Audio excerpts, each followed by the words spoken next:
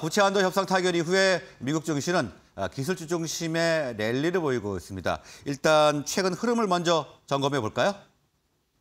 어, 말씀하신 대로 이제 그 미국의 디폴트, 그러니까 금융시장의 혼란을 상당히 가중시킬 수 있었던 이제 디폴트 위기에서 이제 벗어났다라는 점에서 안도렐리가 좀 이어지고 있는 것 같고요. 다만 이제 전일에는 어 이제 부채 한도 협상에 이제 조금 더그 구체적인 최종 단계에서의 좀 교착 상태를 좀 우려하는 어떤 그런 시각들이 좀 존재를 하면서 어, 혼조세로 좀 마감을 했습니다. 어, 결국에는 지금 양당이 양당 모두 특히 이제 강경파 그 중심의 반대 목소리가 상당히 커지고 있는 거고요. 그러니까 민주당 쪽에서는 예산안이 원안대로 통과되지 않았다라는 부분에 상당히 반대하고 있고 어, 공화당 내 강경파 쪽에서는 어, 이제 예산안 이제 삭감 폭 자체가 이제 당초 예상했던 것보다 크지 않다라는 점에서 어, 계속 반대 목소리를 좀 내고 있는 것 같습니다.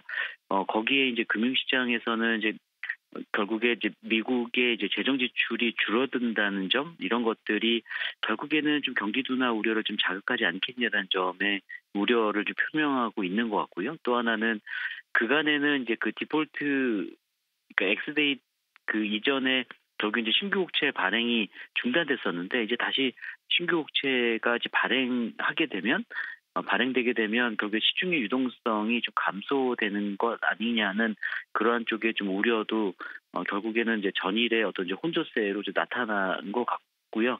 저희는 이제 결국에는 이제 뭐, 뭐 초당적인 합의를 이루어졌기 때문에 뭐 마지막까지 뭐 진통이 있긴 하겠습니다만 이제 원만하게 어, 타결되지 않겠냐라는 생각을 갖고 있고요. 그 시장에 분명히 노이즈로 좀 작용을 하겠습니다만 어 결국에 이제 이면에 이제 부채한도 협상이 타결된 이후에 어, 앞서 말씀드린 대로 이제 정부의 어떤 단기간에 어, 좀 국채 발행 규모가 확대되면서 어떤 유동성에 영향을 미칠 수 있다라는 부분, 또 재정 지출이 어쨌든 2025년까지는 이제 재정 지출이 당초 예상했던 것보다는 좀 줄어든다라는 점에서 어, 저기 그거에 따른 어떤 경기의 어떤 둔화 우려 이런 것들이 결국에는 좀 시장에 어떤 위험자산 선호 심리 지속 여부를 좀 결정하지 않겠냐라고 보고 있습니다.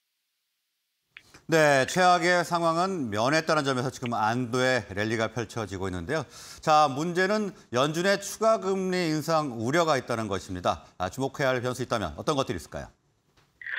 어, 이제 좀 기류가 좀 바뀐 것이 이제 지난 주말에 이제 그 PC 물가가 이제 당초 이제 예상보다는 좀 높게 나오면서 그러니까 물가 상승률의 둔화 속도가 상당히 좀 더디게 진행되고 있다라는 점이 한번 확인이 되면서 지금 이제 6월 FOMC 회의 14일, 15일에 예정되어 있는 6월 어, FOMC 회의를 앞두고 당초에는 이제 금리가 동결될 것이라는 가능성 자체가 한 80% 가까이 육박해 있었는데 지금은 한 40% 그러니까 금리를 인상해야 된다라는 게 6, 뭐 동결해야 된다라는 게 어, 4로 좀 오히려 이제 동결 가능성이 좀 낮아져 있는 상황입니다. 그래서 어, 추가 금리 인상에 대한 우려 역시도 좀 시장의 위험전 선호 심리에 상당히 좀 부정적으로 작용하고 있는 것 같고요.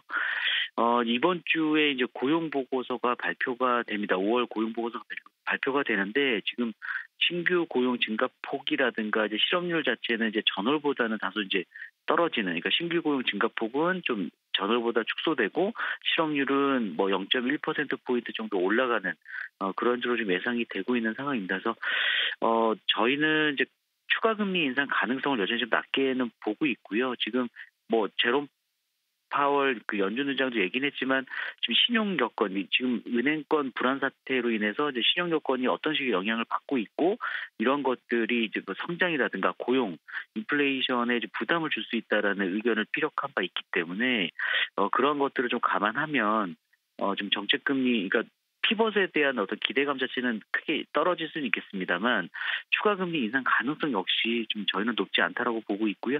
어, 고용 보고서가 저희가 예상한 대로 어, 좀 전월보다 좀 둔화되는 어떤 흐름들이 포착이 된다면 6월에는 좀 금리 동결로 좀 봐야 되지 않을까라고 생각을 하고 있습니다.